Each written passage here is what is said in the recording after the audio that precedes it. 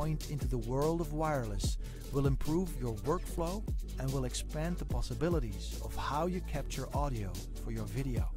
For more information, visit sennheiser.com slash xswd.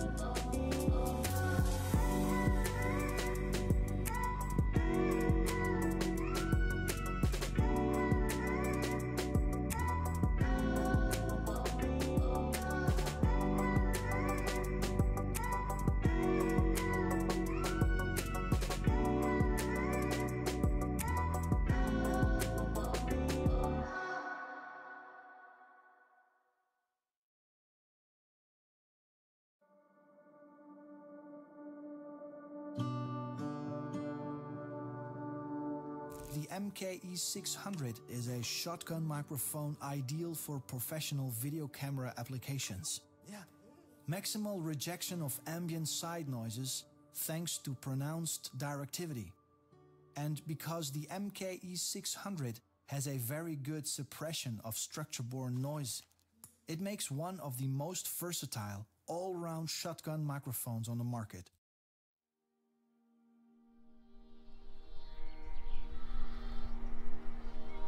The new Super 35 sensor that Canon have introduced with the C300 Mark III is quite a big step up from other S35 sensors that they have created before. From the body and the flexibility that gives us in terms of the expansion packs and the interchangeable mount, to the sensor with its increased dynamic range for tackling scenes that possibly we couldn't have tackled or captured faithfully before.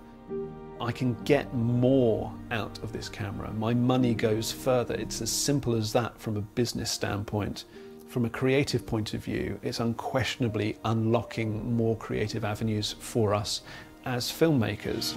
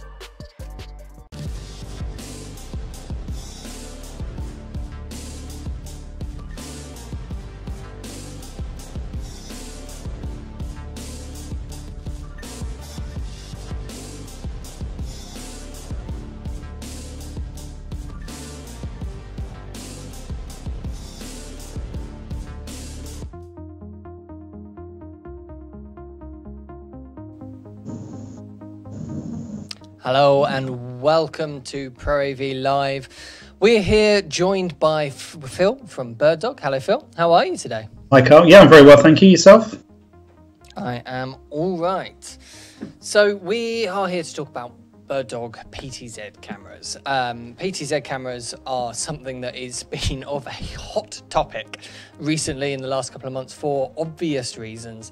The effectively the entire point of them is that they are operatorless um, cameras. You know, they can pan, tilt, and zoom by themselves. Now, obviously, they're used in a whole bunch of different. It's not just to try and get rid of camera operators. They are um, used for all sorts of different nuanced reasons.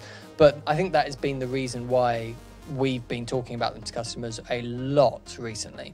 So there's a, been a lot of interest, and presumably you've been seeing the same thing, Phil.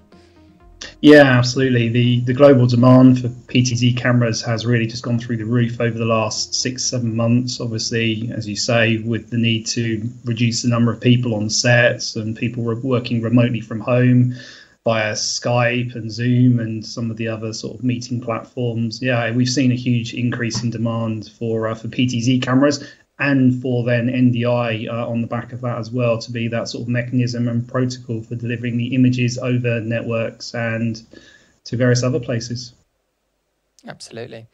Um, so we've got a few people watching this right now live, um, and so I do want this to be a two-way conversation. I don't want this to just be us going through some PowerPoint slides and talking to each other for half an hour and then calling the stream. Um, so please do talk back in the YouTube chat or on Facebook. Um, one thing that would be really interesting to get us all started is let us know what sort of experience level you've got with PTZ cameras because we talk to a whole variety of customers because that increase in demand has gone has increased massively in the last couple of months. We're talking to a lot of people that are very, very new to the world of PTZ cameras, much like myself. I'm also very new to all of this. Um, I imagine, Phil, you've got a little bit more experience in this than I have. um, but certainly historically, whenever we would talk to a customer about PTZ cameras, they're very familiar with them. They've been in the industry for quite a long time. They've been working with cameras like this for a long time. They know all about them. Whereas the we've seen a lot more new people right now. So yeah, the people watching, I would be very curious to see um, what sort of experience levels have we got watching us today. So let, let us know. Are you are you brand new? Have you never touched a PTZ before in your life? Are you just trying to get your grips, or you're looking at investing in something for the first time and you're really trying to weigh up the options between different PTZ brands? Or are you something who's been using PTZs for a good long time but has never really looked at bird dogs before? Or maybe you're an expert in bird dogs and you've been using them for years and years and years. Let us know. Very's already popped up saying he's got no direct experience with PTZ cameras, currently trying to decide if you go with two PTZ cameras or a Blackmagic 6K controlled by the ATEM switcher. Fantastic. That is exactly the sort of information I am after. Um, and as to which one you go, really, it depends how important that PTZ part of it is for you. Because a like a Pocket 6K, for example, though it's a great camera with a lovely sensor, um, and they have done some really cool stuff over control over HDMI. You're never going to be able to pan and tilt and zoom it without investing in much bigger things around it. Whereas little cameras like this one, for example, this bird dog here, can pan, tilt, and zoom all around by itself. So it depends what your needs are going to be. Would you add anything to that, Phil? No, I think you summed it up very well there. Um, yeah, a PTZ cameras obviously can do a lot of things that you can't do with a traditional style broadcast camera, whether it's a, a Blackmagic unit, a Canon, a Sony.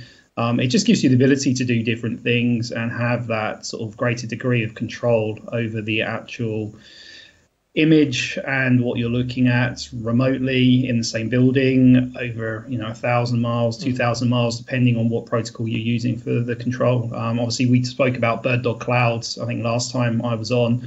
And with clouds you can do a complete remote production from 10,000 miles away connecting via srt to p200 cameras p100s any of our bird dog cameras. So yeah it just You could depends be controlling on this one on the desk right next to me.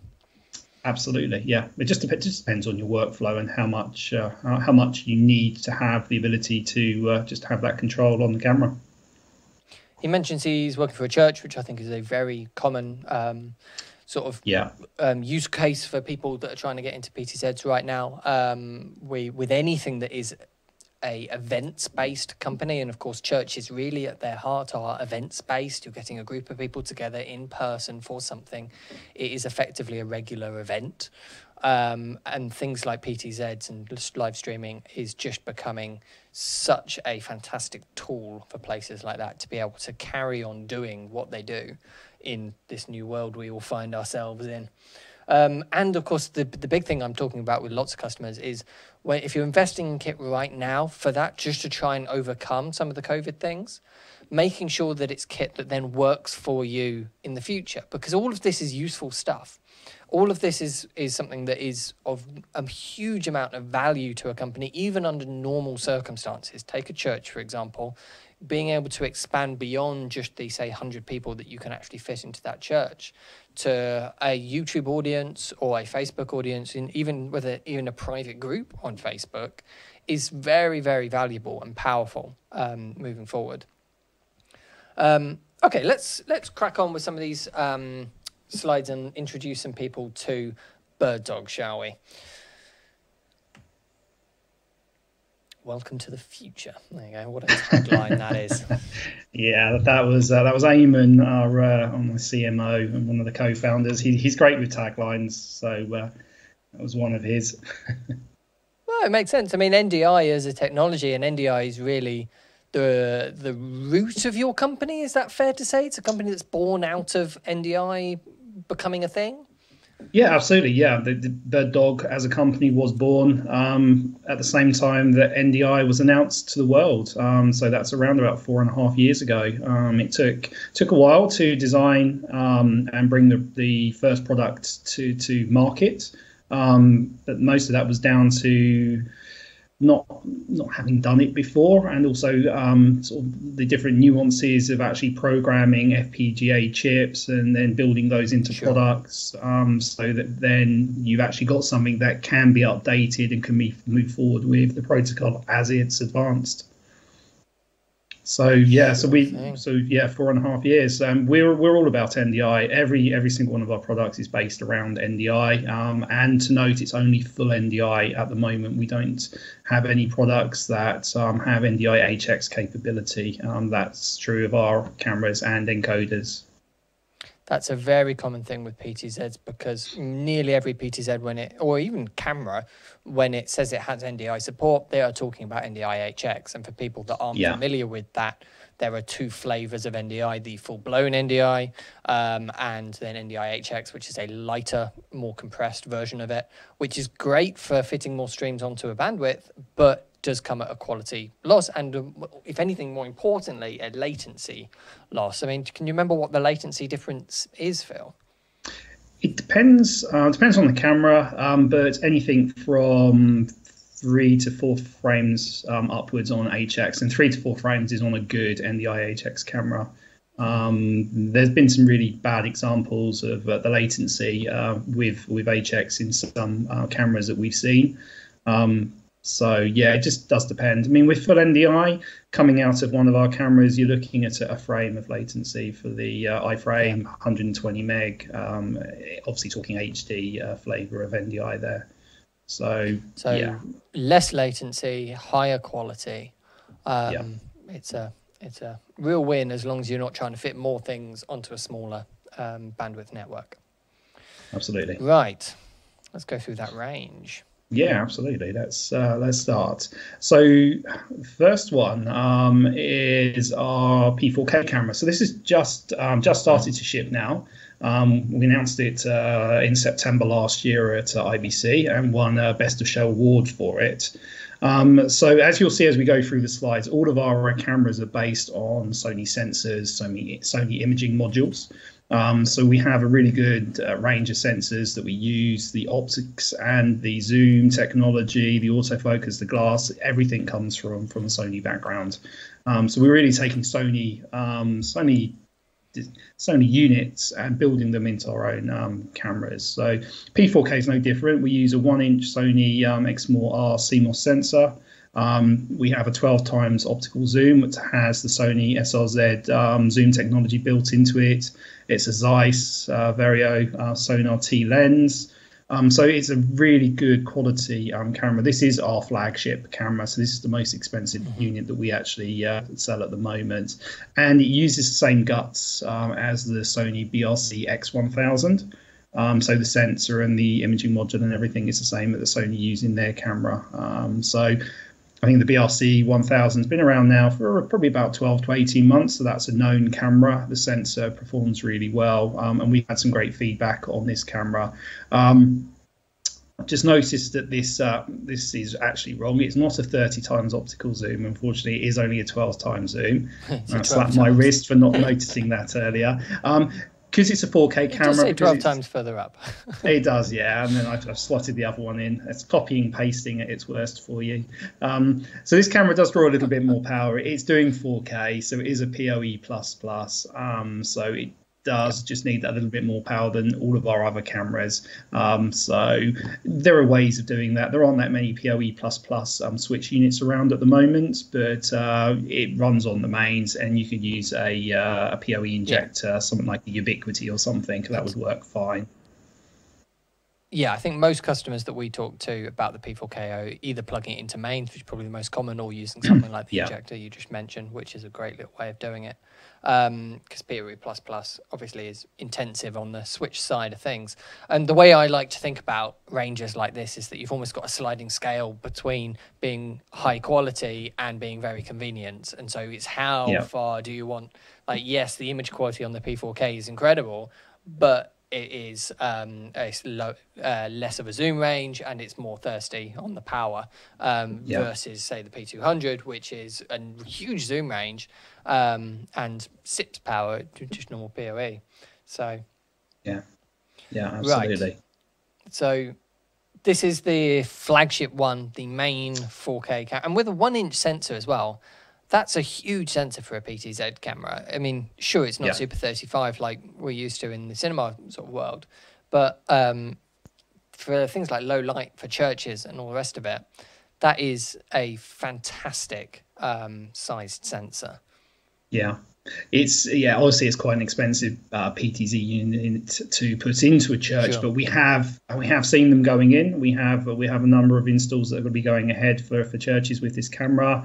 Um, we've got a number of theatres that are looking at it as well. Um, obviously, the lighting in a theatre is quite low, um, so yeah, and some cruise ships, but again, but that's based on on the theatres within the cruise ships, um, and also a lot of um, interest from studio, uh, more traditional sort of broadcast studio applications um, as well. has it has triple output on this as well, so we have SDI and HDMI as well as NDI. So um, I think sometimes people do forget that our cameras have those connectivity as well. Um, yeah. we, obviously, we're known for NDI, so that's Cat Cat six cable, Cat five cable coming out the back. But um, yeah. equally, we have SDI and HDMI connectivity, so they work really well in a traditional. Uh, workflow as well. Um, so going into Blackmagic Switch into an AJA matrix or something as well. So um, yeah, we, we can do that as well. And the output can be mixed between NDI and the baseband video coming on SDI as well. So you can have different frame rates coming out of, of, of both of them at the same time if you uh, wanted. Quite cool. And we do have some customers that are using that. Yeah, I can't think of any reason that you would want to do that off the top of my head. There must be some. It was, I think, it was mainly for monitoring um, and a couple of purposes. It was a bit, of, it was, yeah, it was a little bit niche um, what they were using it for, but it, it is possible to do it. So uh, it's, yeah, it's um, that it's got enough processing grunt to do that. Yeah. So it has a smaller sibling, if you like. This is the other 4K option that you guys do. It is. So P400, this has now just started um, shipping as well. So this is a smaller sensor um, than the uh, P4K. Uh, so this is a one and two fifth inch sensor. Again, it's a Sony sensor, Sony imaging module, um, 20 times zoom on this. So not not as long as the P200. Um, it's PoE plus plus power again. just again because it's a 4K unit, so it's doing a lot more processing in there. We have the same triple outputs, NDI, SDI, um, HDMI. Uh, this is actually this camera is actually the same footprint almost as the uh, P200, um, so it's still Mm, quite it's quite a so this one compact camera. Yeah, the only difference is just the um, the the heat fins that stick out on the back on the P400. They're just slightly more pronounced, but uh, not a huge difference at all. Okay. Um, so the good, the nice thing about the both the P400 and the P4K is that uh, we have uh, the ability to give the camera operators and, and customers the ability to actually dial in, um, actually mess around with the color quite considerably with these colors. They have access access to the full color matrix on these cameras. Um, at the moment, that has to be done via the on-screen display, but we do have um, version two of our cam control software coming out shortly. That will then enable you to do that in software rather than using the uh, the sort of IR remotes and doing it that way. We have just had a um, comment from Shem who says any update for that cam control app, good for adjusting the cameras, but the current version he says is quite buggy. Um, so I guess version two would fix that. Version two will fix that. Yeah, absolutely. It's something we've been working on for a while. Um, so that is due to come out very shortly as well. Very cool. Okay, so that's those are the two 4K options. Now, most people don't live stream in 4K. Currently, we do we do have quite a few customers that are wanting to um, push towards 4K, but unlike say the the more traditional capture audience that we that we service, um, who are nearly always filming in 4K nowadays, in the streaming world, most people are still in 1080p because of bandwidth. Um, but with 4K, moving towards as the future. So the two 1080p cameras that you do are the P200 and the P100. Yeah, so the P100 is is our little baby um, entry level camera. Again, it's it's a Sony sensor. Um, it's still uh, one frame of latency coming out. Um, this uh, this camera though interestingly has um, quad outputs. We have USB, NDI, SDI, and HDMI. So with the USB output, you can use it as a, as a webcam. Um, so you can put it into webcam mode. So you could plug that directly into your laptop and then use it in conjunction with Zoom or Teams or Skype or any of the um, sort of meeting applications out there that have NDI enabled.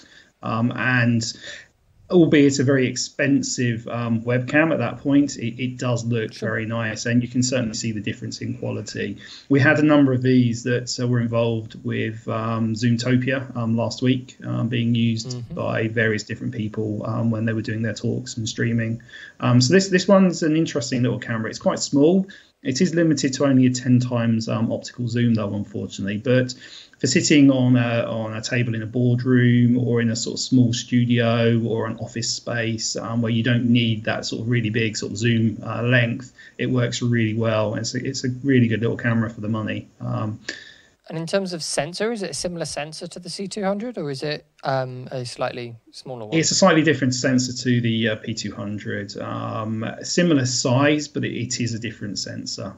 Gotcha. Uh, obviously, when, when you start looking at sensors, there's quite a big jump between different sensors in terms of price. Hence, why this one is sort of priced at, at its price point. Makes sense.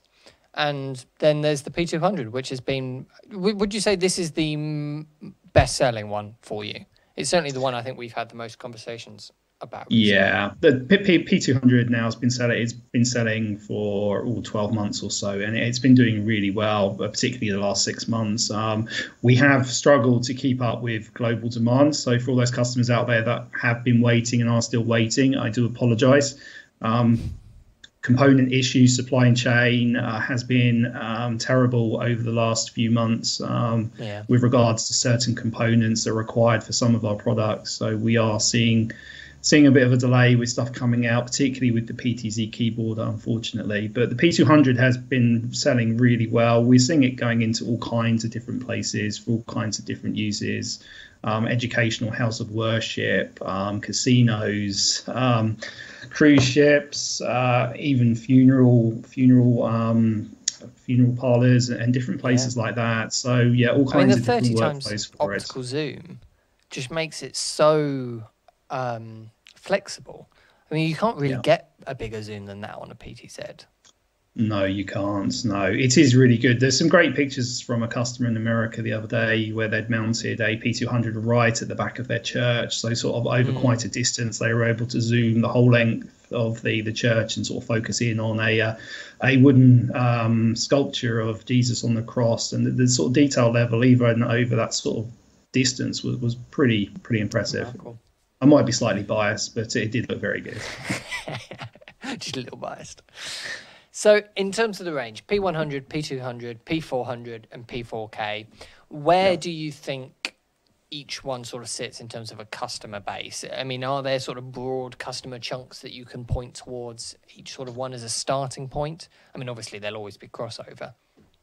Yeah, I mean, yes and no. I mean, it, it's been surprising um, over the last few months to actually see where our cameras are actually being utilized and what they're being used for. Um, P200 is is the mainstay, um, and we see that being used for all kinds of corporate events, live streaming, and, and that sort of environment. But equally, we've now seen them being moved into to medical and other sort of vertical fields that we hadn't really considered ourselves um, to start with. Same with P100. Um, P100 uh, for its price point gives a really good picture. Um, and is being yeah again being used in all kinds of different places. So i don't think i could point at any one particular sort of area that that is is leaning towards each of the cameras. Um, obviously p4k and p400 are sort of fairly new to the market. People are still sort of feeling Sure. their way getting a look at them because obviously when you're spending p4k money on a camera you want to see the image coming out of it before you'll uh, make a decision which is Yeah. understandable um, Well, so P4K really hits the people who are looking for the best possible image quality Yeah. from a PTZ. Absolutely, but P400 is very well priced for for a 4K camera, um, sort of in its range. But again, people still want to see the image, so I possibly think that in time the P400 will overtake the P200 in sales. That's just my guess. I'm not sure that the guys in the office uh, back in Australia would agree with me, but. Uh, we have a little bet, uh, side bet running on that one. Um, but yeah, no, it's, it's just been surprising actually um, o- over the last few months where our cameras are being used and, and what they're being used for. It, it's very diverse.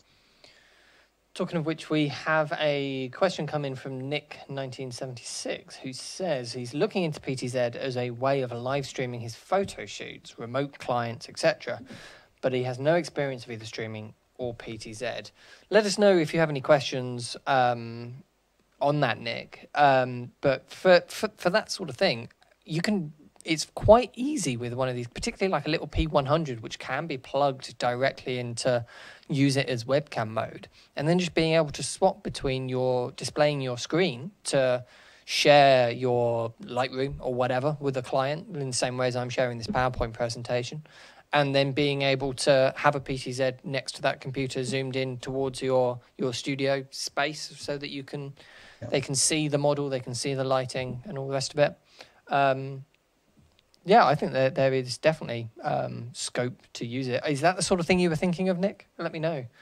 Um, but while he comes back on that one, let's move on to the um, the A range rather than the P range, and these are a bit more sort of um, specialist cameras, if you like. Um, Yes. I mean, they're, I, I guess it's just anything outdoors, right? Yeah, basically anything outdoors. So um, the, the it's A200 uses exactly the same sensor as the, the P200. Obviously, the only difference is the housing. Um, so the A200 looks a little bit like a security camera, sort of sits in that sort of underslung position. Um, uh, it isn't obviously isn't a security camera by any means, um, but uh, designed, yeah, just It designed would to be be a very permanently- good security camera. You'd be able to see quite a lot from it. You would, yeah. yeah, it wouldn't be like the fuzzy images you see on sort of police camera action and stuff. But uh, it is it's designed to be mounted permanently outside. It's um, IP67 rated. Uh, it has an operate decent operating temperature range of minus 40 to plus 60. Um, it's corrosion resistant. We have a windscreen wiper on there, which is very useful for uh, for use in the UK, uh, where we get lots of rain and sleet and horrible weather. Um, it has SDI and NDI outputs. Uh, this one does a full 360 degree spin as well. We have um, a slip ring mechanism in there. Um, it's got a heater in the housing as well, so in those sort of lower temperatures uh, to stop the lens uh, from fogging and misting. That, that's in there to help. The only drawback on that is that it does require a little bit more power than the uh, sort of indoor cameras. So this one goes up to around about 67 watts. Um, we've got these being installed in all kinds of different places. Um, we've got them on the outside of uh, OB vans in the Middle East. Um, we've got them around sporting stadiums. There were a number of these that would have been at the Olympics um, if they'd have gone ahead, uh, the Winter Olympics. For anything events wise outdoors that you want to just be able to permanently rig around a racetrack or something like that, for example, or a festival, like sort of Mm-hmm. Yeah. um, music festival, and then Yeah. not have to worry if it starts to rain and all the rest of it. Um, I, I can see that being absolutely fantastically useful. Even if it's only Yeah, for absolutely. crowd shots, and then you're using more traditional cameras for the stage bits. Yeah, we we have done we have done some festivals and some sort of bigger things out in the states where um, it's gone completely NDI. Um, There's a big big festival called Canafest. I think it's changed its name, or it would have changed its name this year if it had gone ahead. But they solely went NDI for all of their uh, cameras. Um, so they were using P200s. They were using sort of traditional Sony and Blackmagic cameras, but with studio um, NDI converters and minis on their their entire infrastructure was then run back to NewTek TC1s, um, and they did, did the whole thing. So yeah, we're seeing seeing them being used in those environments as well. Um, I think probably the, the most famous place we have a couple of A200s on is the front of the White House now as well. Well, that's pretty famous. Yeah, really famous. It doesn't rain as quite as much as over here, though. no. so, A300, yeah, bigger brother, right? much bigger. Um, th- this is quite a beast actually. This camera it weighs uh, oh, off memory around about ten and a half kilos, so it's it's pretty uh, it's pretty heavy. Um, but designed obviously to, to be that way. It's it's a very rugged housing. The actual head on this is quite interesting because it's actually nitrogen filled. So there's no oxygen in there at all. So there's no possibility of ever fogging or clouding, misting at all. Um, we have a laser built into this as well. So for nighttime illumination, the laser will work um, up to uh, around 500 meters. Um, designed to be used in some really horrible environments. Um, we see them on top of um, news buildings, giving that sort of panoramic vista sort of shot over the rooftops that you see from time to time. We've got them on armored vehicles, crowd control vehicles. Um, they really are very, very robust. Um, if mounted correctly, they're designed to withstand a Category 4 hurricane as well. So, yeah, significant units. It looks like there's two cameras in there. Yeah, the the bottom is the camera and the top is the uh, the laser. Ah, gotcha. That's the nighttime laser. So it's the nighttime laser, which is why it also draws a little bit more power again than the the um, A200 because that laser array is in there. And that needs a significant amount of uh, power to uh, to run it. So. Uh, yeah, it's, it's, it's an interesting unit. I think it, it is robust enough for me to attack it with a cricket bat, and the cricket bat would actually lose. So if that's what you're looking for in a PTZ, there we go. Can hold up well in a wrestling match. Hold up very well. Yeah. So the PTZ keyboard is another thing that we, I, I reckon these go out with most of our orders um, for BirdDog cameras. I think part of that has been because you've run a very successful bundle that has three cameras and this with it. Um, Yeah. But these are fantastic for controlling it really quickly and simply. I mean, you don't need one of a a physical controller for any of these PTZs. You can control them from free applications on any PC or anything like that, um, or through TriCasters. If you're using TriCasters, they can actually control them directly in there. But having something physical for this um, does make your life much nicer, especially if you're working quickly or in teams. Um, but yeah, do you want to talk us through this, Phil? Yeah, so yeah, PTZ keyboard. Um, it will control up to 255 cameras from one keyboard, which would be interesting to see an operator trying to do. I'd love to actually see that at some point. Um, we have various different support in here. So we have NDI, Visca, Visca over IP, 422232. So all of the sort of standard protocols for control and controlling PTZ cameras. Uh, probably one thing to note more than anything else is that we use Sony's version of Visca over IP.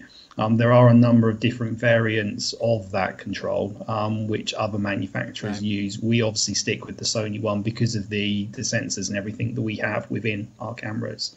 Gotcha. Um, so that's probably one good thing to point out. Uh, it does work with other manufacturers' PTZ cameras. I must admit, we haven't tried it with everybody's.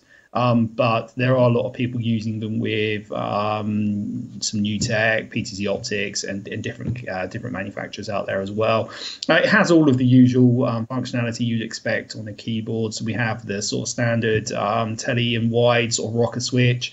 Uh, you can also do that by twisting the uh, the joystick as well. We have white balance, iris control um, zoom, pan and tilt speed, focus speed, exposure buttons on here as well. We can do a number of camera presets. Um, so yeah, it's a sort of fully featured PTZ keyboard in quite a small little package that's fairly robust as well. Okay. Um, as we move towards the end of these slides, by the way, everyone watching, if you there are any questions that you've got, um, now is a great chance time to be leaving them in the chat, um, so that we've got time to go through them at the end. Um, but I mentioned that you don't have to use the physical keyboard to control cameras, um, and you can use software, which brings us on nicely to your cam control piece of software. Yeah, as I think Shem mentioned earlier, so we have um, cam control software. So this is a free to download piece of software from um, our website, uh, designed specifically to work or to only work with our cameras. Um, I had a customer the other day um, uh, in the Far East who was quite upset that he downloaded it and it wouldn't work with a Panasonic camera. Um, but yeah, designed to work with our cameras. Um, unfortunately, for all of those Mac users out there at the moment, it is only available on Windows platform. Um, we are looking at Mac integration with our software, um, but uh, the Mac iOS is is yeah is, is difficult um, and changes quite quickly. So we are going to look at that um, as we move forward. But Cam Control basically allows you um, access to control. All of the PTZ cameras that are on your network that are from BirdDog.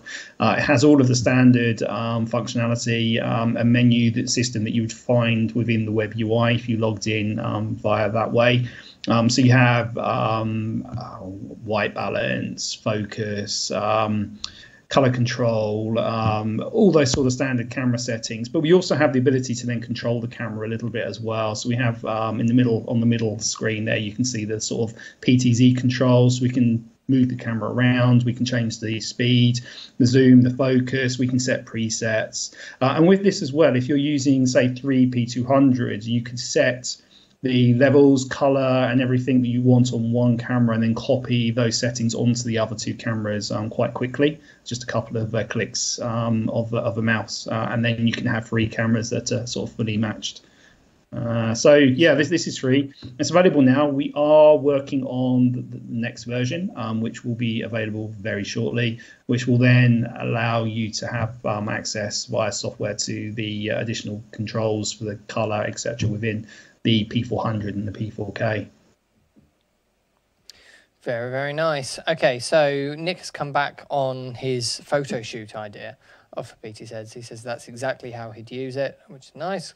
Um, possible screen share and live feed of what's being shot while the clients view live. Can the PTZ also be controlled by the client? It- yes, i yes, it could. Um, at the moment, the only way we have to remotely control our cameras would be via our um, BirdDog Cloud application, um, Yep. which would then equally would be great for something that he would be looking for, because you could actually send the the feeds out there and there's WebRTC that anybody then can view on an iPad, an Android device, a laptop, or something like that. But then um, they would also then be able to have the possibility of having another endpoint, which would then allow camera control from uh, an external location as well. So, Yeah, I um, think I think it's worth pointing out that it is not a simple thing to do by any stretch of the imagination. Controlling, um, basically joining something, giving someone remote access into an NDI network. That's something that um, is without Bird Dog Cloud anyway, very, very difficult to do, um, but obviously possible. Um, Bird Dog Cloud is probably one of the easiest ways to do it. Um, But even then, it, you know, it's not it's not a super simple user interface and all the rest of it. It is a it is a feels like you're meddling with IP stuff, um, and so um, for some clients, maybe not. It's uh, probably not as simple as I'd imagine he is thinking it is there. But what what that is for everyone else out there listening, um, it is very good for is bringing in remote guests. So what we could use in this studio, for example, and something that I would love to get up and running at some point, is to have a actual PTZ camera rather than a simple webcam. Because at the moment we're bringing Phil in over webcam via Skype we could completely bypass that and just bring him in as a with a PTZ camera using Bird Dog Cloud um, to bring in full quality um, and be able to control his camera and all the rest of it and settings. Um, it would be a fantastic way to do it. Um, so for things like that, it is very very useful. Um, for your particular situation, Nick. Um, it might well work. It might well work. Um, well, in fact, it would work, but it, it just depends as to you as to whether or not that's simple enough for some of your clients. I'm just thinking back to some of the clients that I've had in the past. um, and he says, yeah, he says the photographic world is solely Mac, and so not being on Mac would be Yeah. um, a big deal for him, which makes a lot of sense. Um, Yeah. in terms of broadcast, historically, most broadcast and NDI has been run around um, um, Windows. I have found because obviously I'm running a Mac, Mac's here, and so this is being captured and fed in. All of the Mac tools are now available on Mac rather than um, being only on PC, which they used to be. Um, they're still lagging a little bit behind the PC world. If you if you want to invest in equipment for NDI work, I do recommend customers go with PC rather than Mac um, simply because it works much much smoother um, for things like KVM, remote controlling, um, all that sort of stuff. Um, but the Mac ones do work very well, and so it is certainly possible with Mac. As I'm proving, I have a Mac right here, right now. Um, cool. Yep. Shem is also chiming in. Everyone uses Mac in his events industry, so um, Yeah. it would be would be great. That would be lovely to see. Yeah, absolutely. We Maybe know there are a lot of yeah. One day we know there are a lot of Mac users out there, and I do get we do get asked that question quite a bit. Um, so it will be something that we will, we will look at. Probably not until the early part of next year, um, as we have new Sure. toys um, that we're looking at at the moment, uh, which will hopefully be exciting for uh, people. Very exciting stuff. Um, Yeah. One thing I would, rather than ending on that note, um, I would point out that you absolutely do not need these camera control um, pieces of software, like um, in order to work with it.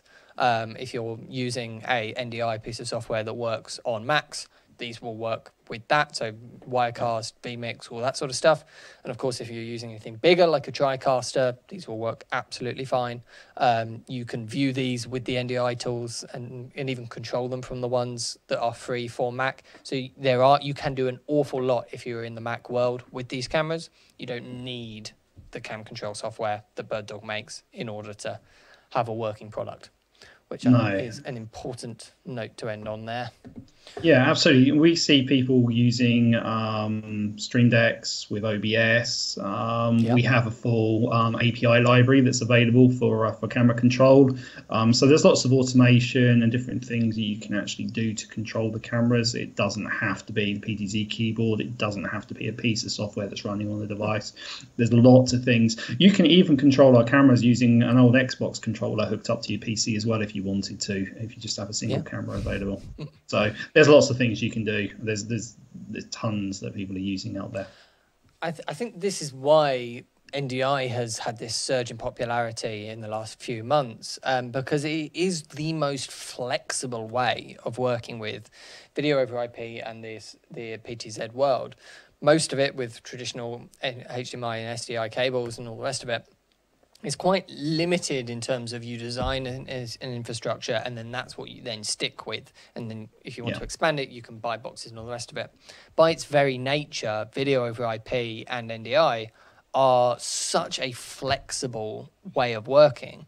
You know, you can, if you've got 16 ports on your switch and you need another camera, you can literally just take one of these, plug it in, and it will pop up on your system. And every single thing that is connected into that system, whether it's the TriCaster over there, the PC that's over here, PC downstairs, if it's connected to the same network, will be able to see that. You don't have to run specific SDI cables to all the places that this needs to be. So, for changing your setup and being flexible, NDI is fantastic.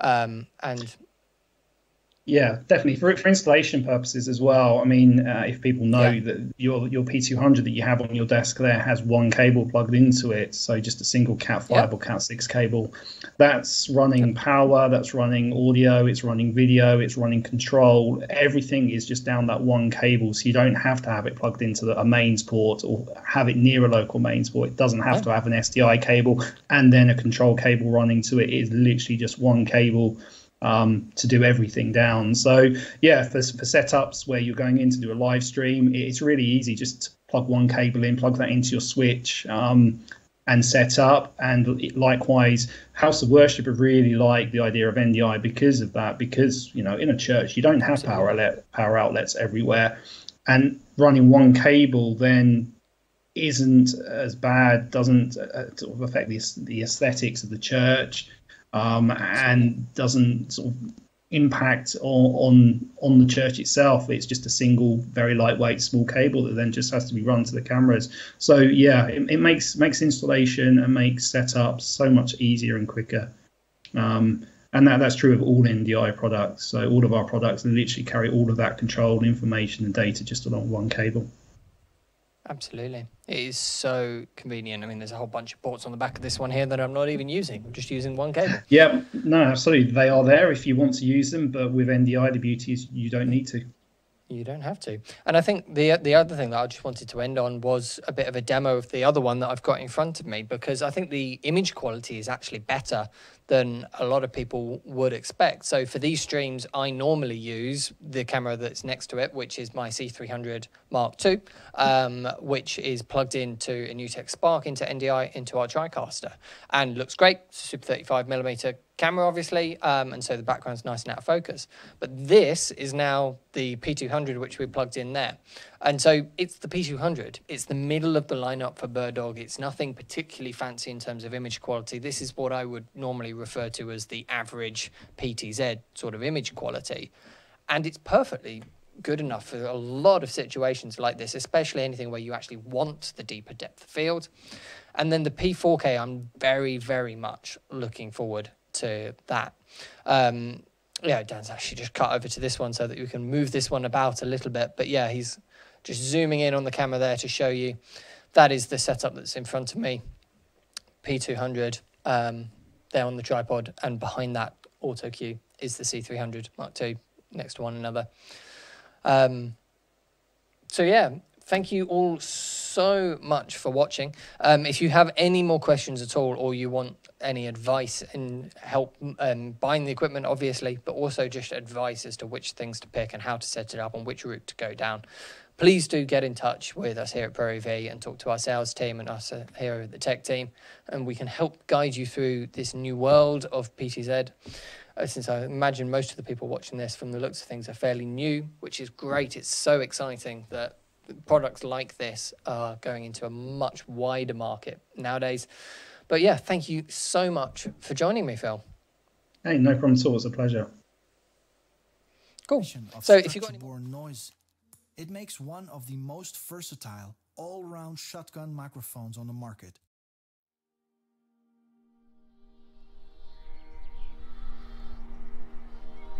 The new Super 35 sensor that Canon have introduced with the C300 Mark III is quite a big step up from other S35 sensors that they have created before. From the body and the flexibility that gives us in terms of the expansion packs and the interchangeable mount, to the sensor with its increased dynamic range for tackling scenes that possibly we couldn't have tackled or captured faithfully before. I can get more out of this camera. My money goes further. It's as simple as that from a business standpoint from a creative point of view, it's unquestionably unlocking more creative avenues for us as filmmakers.